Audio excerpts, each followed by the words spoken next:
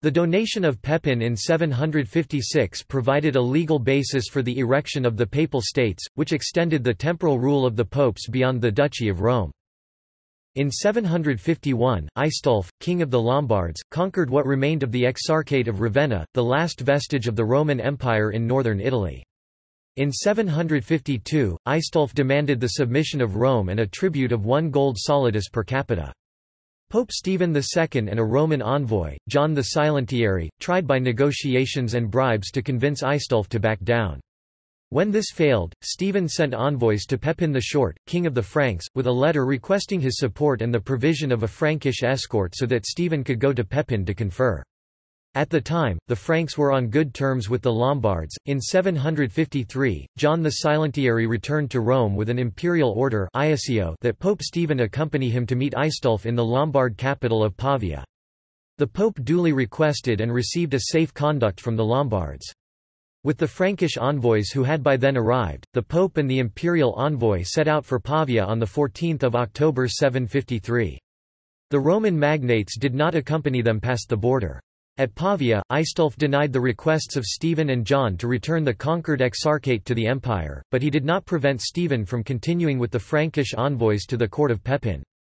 John the Silentiary did not accompany them. This was the first time a pope had crossed the Alps. Pope Stephen met Pepin the Short, who had been crowned at Soissons with Zachary's blessing at Quierzy-sur-Oise in 753. The pope was first met by Pepin. S 11-year-old son, Charles, who conveyed him to his father at Ponthion. At Quierzy the Frankish nobles finally gave their consent to a campaign in Lombardy. Roman Catholic tradition asserts that it was then and there that Pepin executed in writing a promise to convey to the papacy certain territories that were going to be wrested from the Lombards.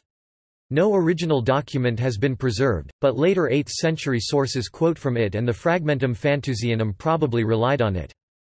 On 28 July 754 Pope Stephen anointed Pepin, as well as his two sons Charles and Carloman, at Saint-Denis in a memorable ceremony that was recalled in coronation rites of French kings until the end of the Ancient regime in 1792.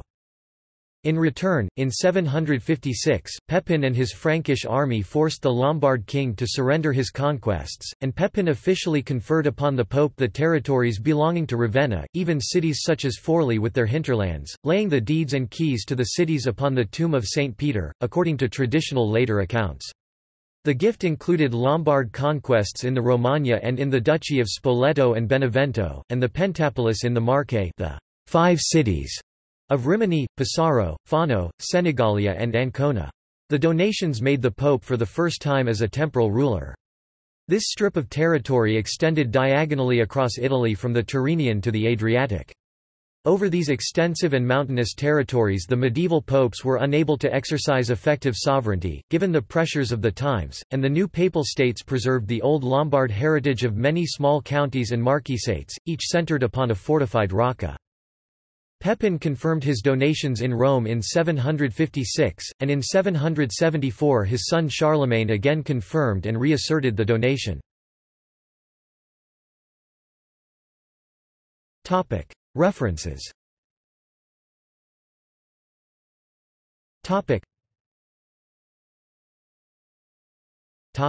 Sources